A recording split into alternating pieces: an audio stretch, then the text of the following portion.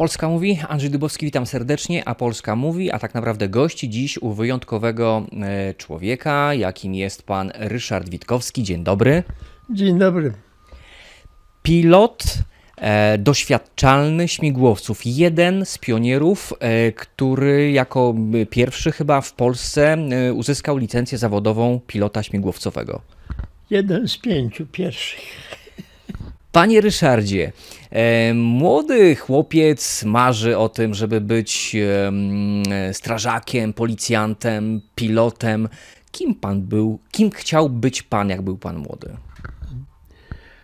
No wie pan, w tym momencie, kiedy żeśmy już wspomnieli o śmigłowcach, to muszę powiedzieć, że wróciły do mnie takie trochę dziecięce marzenia. Marzenia między innymi o tym, żeby nieruchomo zatrzymać się w powietrzu. Umożliwiły to właśnie śmigłowce. Urodził się pan w Milanówku w 1926 roku. E, tam e, żył pan wraz z mamą i rodzeństwem.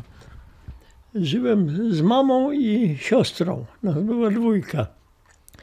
Ojca, weterana wojny 20 roku, niestety straciłem bardzo wcześnie, kiedy miałem dwa lata.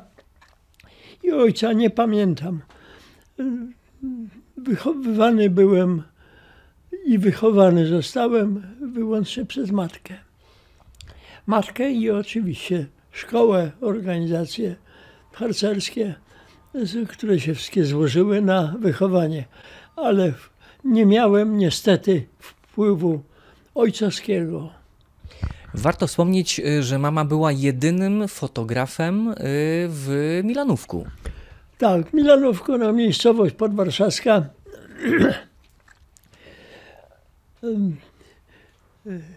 która przed wojną liczyła kilka tysięcy mieszkańców zaledwie, ale była ulubionym miejscem osiadania sfer takich wyższych warszawskich, które sobie Mm, Milanówek y, upodobały i mm, urządzały tam siedziby mm, artyści, adwokaci, generałowie. Y, mama była rzeczywiście w tej miejscowości jedynym y, fotografem, jedynym zawodowym rejestratorem życia miasteczka, rejestrująca swoim aparatem praktycznie wszystkie etapy życia społeczności miejscowej, od urodzin aż do śmierci, przez pierwsze komunie, śluby, różne uroczystości. Mm, także mama została takim e, fotokronikarzem miejscowości. Jej dorobek, e, zdjęcia wykonywane przez nią przez ponad blisko 100 lat temu stanowią dzisiaj wartościowy bardzo materiał historyczny. Panie Ryszardzie, pierwsze takie Pana zetknięcie z lotnictwem, kiedy nastąpiło? Uuu, bardzo wcześnie. Mama mi kiedyś sprezentowała, co zresztą właśnie zostało utrwalone też na fotografii. Ufundowała mi drewniany model ze sklejki samolotu po zwycięstwie mm, Żwirki i Wigury czyli na początku lat 30. E, później zainteresowanie rozbudził jeszcze instruktor prowadzący zajęcia modelarskie w drużynie harcerskiej, pilot aeroklubu warszawskiego, Alfred Włodarski, który zginął później w czasie wojny. On tak dużo opowiadał o lotnictwie, tak nas zachęcał do zainteresowania się tą branżą, że ja po prostu zaskoczyłem. I od tego momentu rzeczywiście się bardzo lotnictwem interesowałem, również w czasie wojny. Wykorzystywałem to na przykład, że do kiosków z gazetami w generalnym gubernatorstwie dochodził również organ Luftwaffe pod tytułem Der Adler, który mm, każdego tygodnia przynosił e, wiadomości o lotnictwie.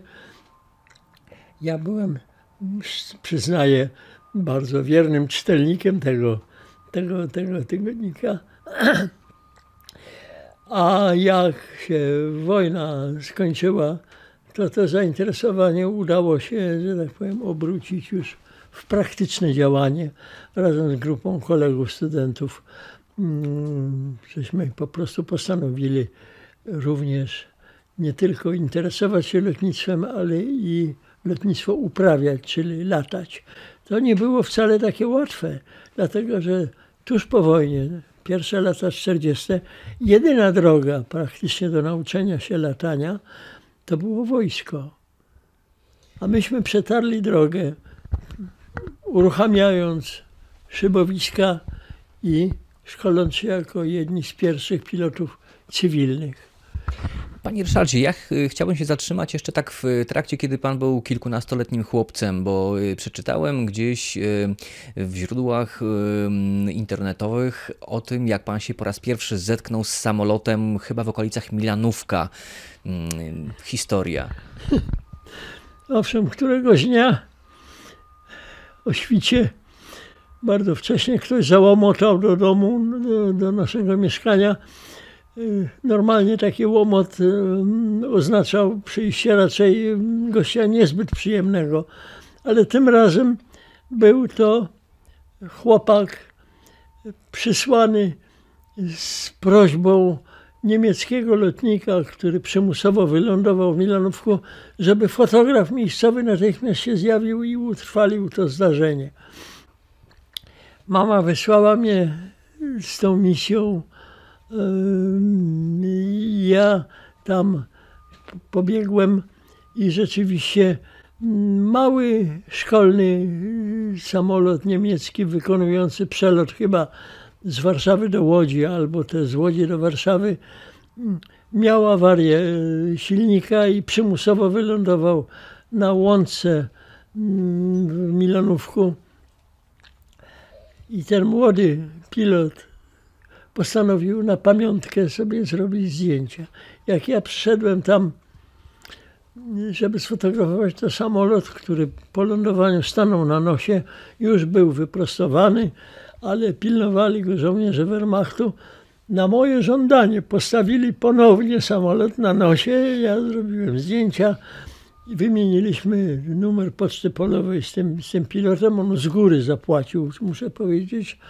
I tak się skończyła przygoda, która umożliwiła mi zobaczenie rzeczywiście po raz pierwszy z bliska prawdziwego samolotu.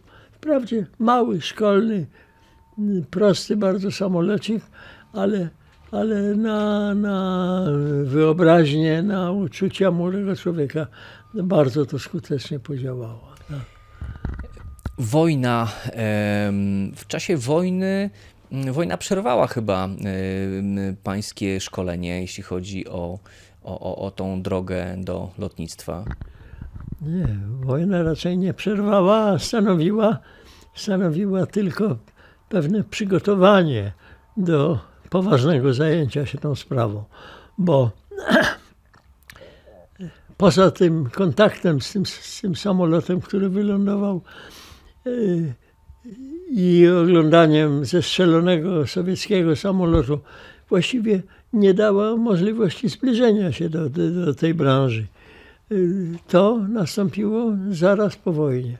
Zaraz po wojnie na szczęście yy, znalazła się grupa ludzi, która wykorzystała szansę, jaką stworzyło pozostawienie przez Niemców dużej ilości sprzętu szybowcowego w, w, na terenie Polski i uruchomili praktyczne szkolenie, naukę latania dla młodych ludzi. I wśród tych młodych ludzi znalazłem się również ja. Zresztą y, tutaj na marginesie powiem, że jednym z kolegów, z którym te pionierskie działania żeśmy podejmowali, był ojciec braci Kaczyńskich, Rajmund Kaczyński, który był też właśnie jednym z pionierów y, uruchomienia szybownictwa zaraz po wojnie w Polsce. Zaraz po wojnie y, kształci, kształcił się pan w szkole chyba na Mokotowie, tak? Y, która została cudem chyba ocalona tak naprawdę. Więc sytuacja z wyższym szkolnictwem w Warszawie zaraz po wojnie wyglądała bardzo źle. Dlatego, że Politechnika na przykład była zrujnowana. Uniwersytet ciężko zraniony. Natomiast y, istniejąca jeszcze przed, przed wojny Wyższa Szkoła Techniczna imienia Wawelberga i Rotwanda no, straciła wprawdzie swoją siedzibę główną w śródmieściu Warszawy, ale uratowała infrastrukturę znajdującą się na Mokotowie. I na bazie tej infrastruktury Wawelberg y, rozpoczął jako jedna z trzech uczelni wyższych zaraz po wojnie działania. Oprócz Wawelberga był to jeszcze Szkoła Główna Gospodarstwa Wiejskiego, która też na szczęście nie utraciła swojej, swojej budowli, jak i Szkoła Główna Handlowa SGH, bo to były uczelnie na Mokotowie, których budynki nie padły ofiarą zniszczeń wojennych. Kim byli wykładowcy na tej uczelni? Y, na Wawelbergu y, to była ciekawa mieszanka ponieważ Politechnika była nieczynna, niezdolna do działania, to wielu profesorów i y, pracowników Politechniki y, włączyło się w działania na Wawelbergu. Natomiast znalazła się grupa jeszcze specjalistów innych aniżeli Mm, specjalności uprawiane w Wawelbergu przed wojną, na przykład specjaliści lotniczy, którzy do tej grupy dołączyli.